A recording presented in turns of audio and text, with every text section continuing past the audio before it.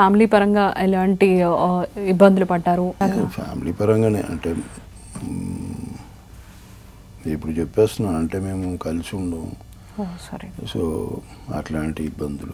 ఇట్లాంటి కొన్ని ఆలోచించుకుంటూ ఒక టైం వచ్చినప్పుడు అప్పుడు ఏమనిపించదు కానీ తర్వాత అనిపిస్తుంది ఆలోచిస్తూ ఉంటే. ఆ, తప్పు మీద నాదని నేను మాట్లాడను. ఆ ఎవరి పాయింట్ ఆఫ్ వ్యూలో వాళ్ళు కరెక్ట్ ఉండింటారు మేబీ నా వల్ల తప్పు జరిగిండొచ్చు వాళ్ళ వల్ల వాళ్ళ సిచ్యువేషన్కి తగ్గట్టు జరిగినాయి తప్ప ఒకరు మంచి ఒకరు చెడు అని మనం మాట్లాడుకోలేము. సో అట్లాంటివి కొన్ని కొన్ని ఇప్పుడు అర్థమవుతున్నాయి అంత. ఇది జరిగి ఎన్నాళ్ళు అయిందంటారు almost ten years ten years okay మరి పిల్లలు మీతోనే ఉంటారా? వాళ్ళ? మమ్మీ దగ్గర ఉంటారు. వాళ్ళ మదర్తోనే నా దగ్గర ఉంటే ఎండుతారు అంతే. వాళ్ళకి వాళ్ళకి వండి పెట్టాను. వాళ్ళు. ఎక్కడ ఉంటే వాళ్ళు హ్యాపీగా ఉంటారు.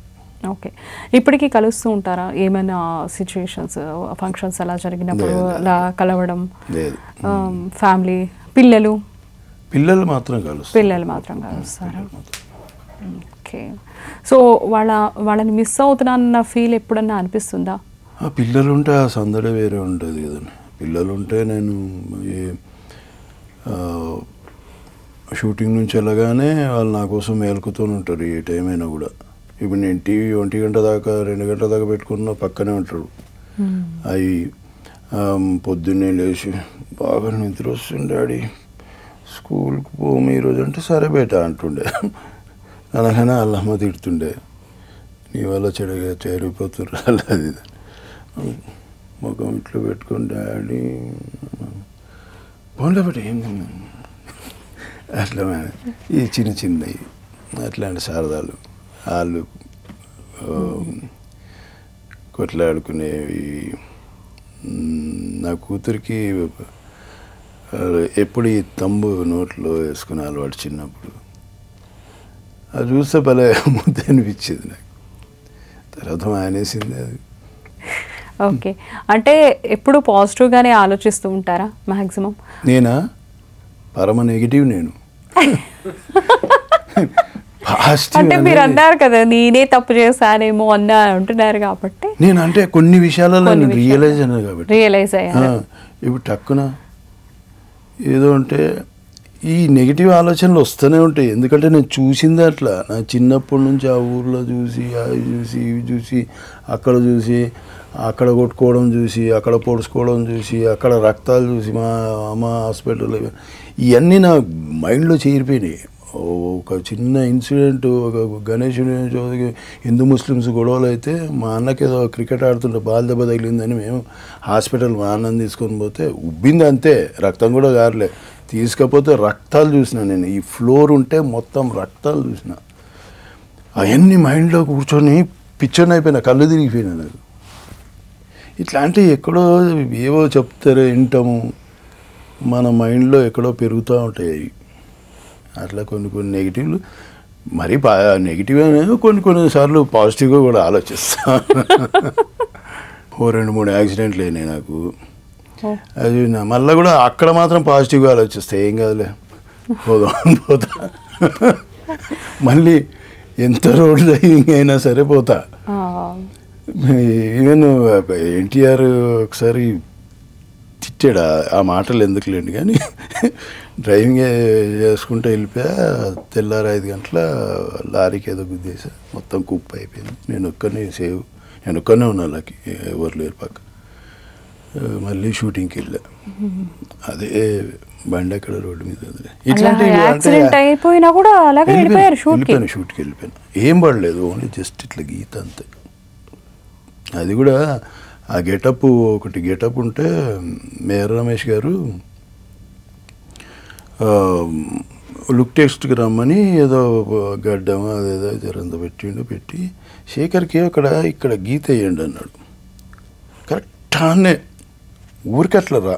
గోరుతో గీరితే ఎట్లుంటుంది? అట్లా అయింది. నేను చూసిన పోయమ్మ ఈయనే కదా ఈయన ఎట్లా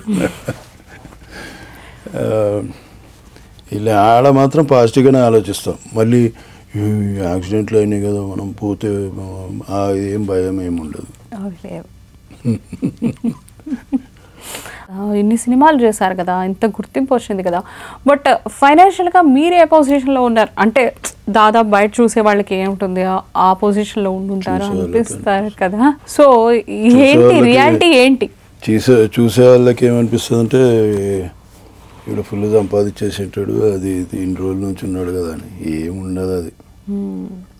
సంపాదించే ఓ నేను విపరీతంగా పెద్ద పెద్ద వేషాలు వేసుకుంటా కంటిన్యూ చేస్తూ ఉంటే ఏమైనా ఉండే ఇప్పుడు కొందరు వస్తారు నేను ఇంత డబ్బులు అడుగుతా ఇప్పుడు వాళ్ళ కూరగాయల వ్యాపారం అయిపోతుంది ఒకసారి. బార్గెనింగ్ చేసుకుంటారు అన్నా నేను అంట నాయన నేను ఏం సంపాదించలే నాయన ఏమో నేను నేను గరీబో నేను నాకే చెప్తారు ఏంది మీ కష్టాలన్నీ. అంటే చూడన్నా అంటే సరే నాకు ఎందుకులే ఇంకా చేసేద్దాం అని అట్లా. ఓకే అండి.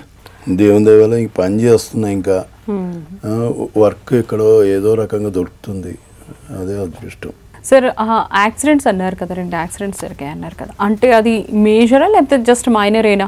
అంటే జీవితంలో అంటే నాకు దెబ్బలు తగలలేదు. మ్మ్. మ్మ్, ఒక్కటి మాత్రం చిన్నదే రెండు మాత్రం పెద్దవి ఒకటి చిత్తూరు ఘాట్ రోడ్లో కంటైనర్కి కొట్టాను. బ్రేక్ కొడితే ఆగలేదు అక్కడ నైట్ నుంచి వర్షం పడుతుంది లైట్గా. ఆయిల్ కూడా లీకేజ్ అవుతుంది. అప్పటి నుంచి వచ్చే లారీలు ఉంటాయి. ఇక్కడ నుంచి డౌన్లో దిగే కంటైనర్లు అవి. నైట్ కాబట్టి ఎక్కువ. బ్రేక్ కొడితే కూడా పడలేదు పోయి కొడితే మొత్తం ఆ బాడీ లోపలికి వచ్చింది. ఎనభై వేల దాకా ఖర్చు అయింది ఇక అదైతే కుప్ప అయిపోయింది ఇక అది మొత్తం. అసలు ఇంకా అది పునర్జన్మే అనుకోవచ్చా? ఏది అంతే భగవంతుడు కాపాడాడు. ఏదో యాక్సిడెంట్ అవ్వాలని ఉంది వీడు ఉండాలని ఉంది ఆయనకి. అదైతే అయింది మళ్ళీ నన్ను చాలా పెద్ద ఇన్సిడెంట్ అదైతే అది అసలు చాలామంది నేను షూటింగ్లో ఉంటే పోలీసు వాళ్ళు అడిగినట్ట నేను మేనేజర్ని పంపించారు ఆ బండిని జర పక్కకు తీసి పోలీస్ స్టేషన్లో పెడతారు కదా. ఇటేమైనా ఉండి అని పంపిస్తే ఈ మనిషి ఉన్నాడా అని.